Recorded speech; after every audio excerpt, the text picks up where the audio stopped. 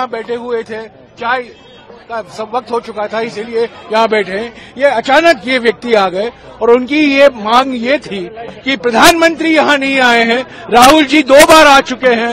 वो वो राहुल जी से गुजारिश कर रहे हैं कि प्रधानमंत्री से कहें कि एक बार तो यहाँ आए पाँच दस मिनट के लिए यहाँ आए। पहले दिन का ही नज़ारा इसी तरीके से अगले कोई प्लान नहीं था नहीं, मैं कह रहा हूँ अगले छियासठ दिन इसी तरीके से राहुल अलग अलग लोगों से मिले हाँ बिल्कुल बिल्कुल बिल्कुल।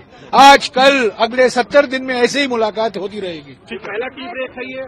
ये पहला लेके क्या कहना चाहेंगे? राहुल गांधी जी ने अभी एक लड़की को टॉफी उसका इज़ अ गुड पर्सन नहीं नहीं, लड़की है, व्यक्ति हैं अलग अलग लोग हैं, पर यही लोगों की यही पीड़ा है, यही दर्द है कि प्रधानमंत्री यहाँ नहीं आए हैं। आठ महीने से उन्होंने अपनी चुप्पी नहीं तोड़ी है, उन्होंने राहुल जी का स्वागत किया है। ये राहुल जी के प्लान में नहीं था।